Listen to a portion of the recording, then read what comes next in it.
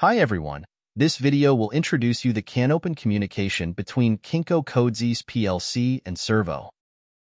There are two CANopen interfaces on Kinco Servo, a DB9 interface and an integrated RJ45 interface. Communication between servos and PLCs can be established through the standard network cable. Here are the tables of Kinco Servo pin definition, which you can find in the user manual. The hardware wiring of the servo is CAN H to CAN H and CAN L to CAN L. Meanwhile, CANopen communication requires a 120 ohm resistor to be connected to both the first and last nodes. As you can see in the figure right side is the connection of the DB9 type interface. The Kinco AK800 Codesys PLC supports CAN open communication. You can download EDS files from the Kinco official website. The topology diagram shows the general connection of AK800 connecting remote I.O. and servo drive via CANopen. Now, start setting the parameters on Kinco Servo software. You need to clear the I.O. function to avoid PLC control failure and set the baud rate and node ID same as the main PLC. Set KEBA to 1 to enable PLC control before you start. When everything is set, remember to save and restart. Now open Codesys. Install the EDS file you downloaded. Then add the CAN bus drive. Like this, click Tools and select Device Repository to install the EDS file.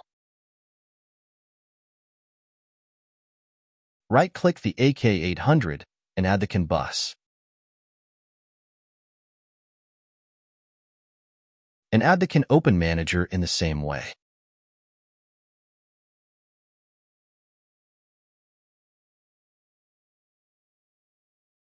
Next, you need to set the CAN Open master parameters and baud rate.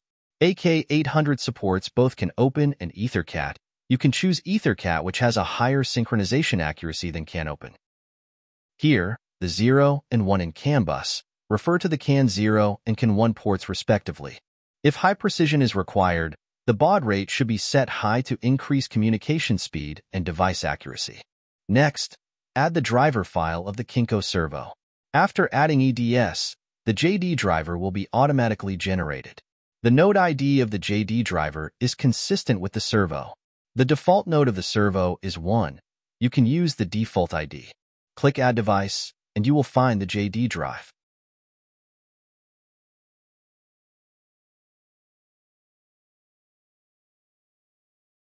I recommend you to enable the expert settings and uncheck the check vendor ID function at the bottom.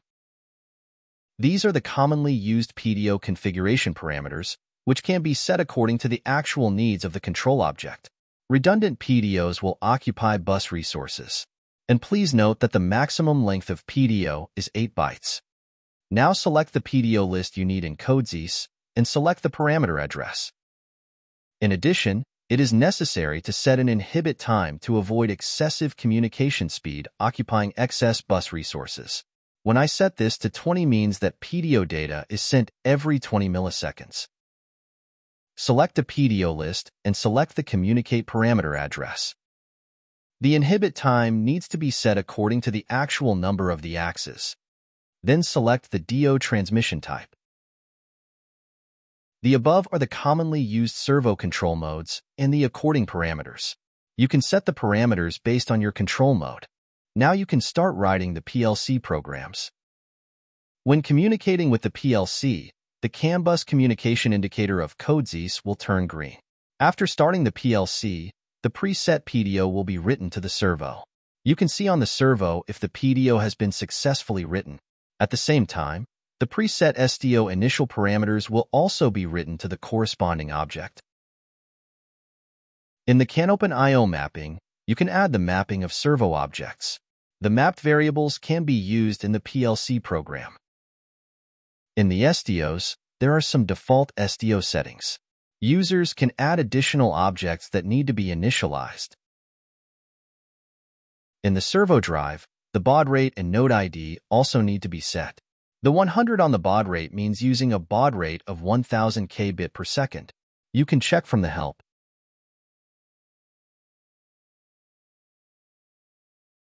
The node ID is defaulted to be 1. Then we log in the PLC. If the indicator light turns green, it means the servo is successfully connected.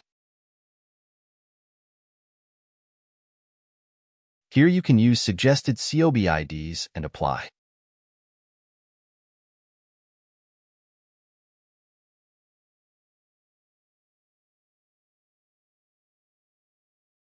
Now all the indicators turn green. Next, you can write the PLC program directly through the IOMAP variables. The actual position of the servo is read in the program. The servo control is achieved by switching the servo control word and operation mode. In SDO, the return mode to initialize the servo is 35, which means that the servo's current position is the origin. If the return mode is executed, the servo will use the current position as the origin. The actual position is reset to zero, and other parameters are set to default. Then log into the PLC and start running. We can see that the PLC is online. The SDO initial setting of the return mode has been written into the servo. The actual position change of the servo can be real-time monitored.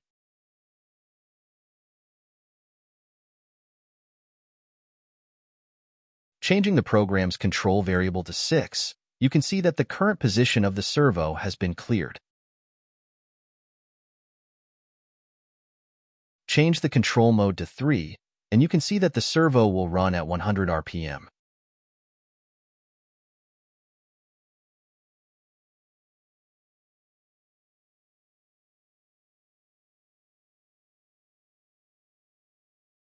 And after changing to zero, the servo will stop running. This is the control case of servo CANopen. In actual operation, you can set it according to the process of the equipment. Now we are going to talk about the CANopen common error troubleshooting. When the device communication failed, you can check the following tips. First, check whether the master and slave communication parameters such as station number and baud rate are set correctly, and whether the hardware connection is correct. Second, the terminal resistance. When the CAN communication rate is high and the communication distance is long, the signal will be reflected at the end of the transmission line. Therefore, it is necessary to connect a 120 ohms terminating resistor in parallel at the beginning and the end of the communication network. If the master and slave stations have built-in termination resistors, only a dialing code setting is required. You can use a multimeter to measure the direct resistance of CAN H and CAN L. Around 60 ohms is normal, Occasionally, communication interruption or timeout may occur during the operation. First, check the terminating resistor. It may happen without terminating resistor. Second, the cable. It is recommended to use 24 AWG shielded, twisted pair cable. Cable shielding layer should be common ground and grounding resistance should not be greater than 1 ohm. When the communication is abnormal, you can try to change the super category 5 or more network cable for connection. Third, GND interference. When the communication distance is long, it is necessary to connect the CAN GND on all communication devices to ensure that there is no potential difference between the communication lines. However, sometimes the signal ground connection instead of bringing interference. Indeed, communication is easy to interrupt when you can try to disconnect the master station and the nodes between the CAN GND test. Reasonable wiring is also important. Communication cables must be with the power cable subslot away. The spacing should be greater than or equal to 20 centimeters. If the cable can be collected into the metal tube, anti-interference ability will be better.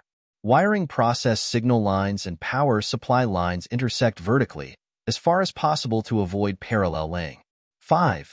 Interference problems. As far as possible, standardized wiring, such as motor PE and power line shielding connected to the drive, drive on the ground terminal for good grounding, ground resistance less than or equal to 10 ohms. Grid power supply's unstable power supply will also have a direct impact on the normal use of the servo. You can try to add the power supply and peripheral equipment such as noise filters. If there is no use to try the above solutions, you can use CAN to USB cable for message monitoring. Try to use PAN to send including SDO, PDO, and heartbeat slash node protection to monitor whether the servo responds normally. Note that the message must be correct. 7. Communication timeout. As the high-priority PDO will always occupy the bus, like some of the deployment parameters do not need to do PDO mapping. such as speed and position loop parameters. When message is lost, try to increase the PDO band time. Reduce the PDO mapping object test. Thanks for watching. If you have any questions, please contact Kinco.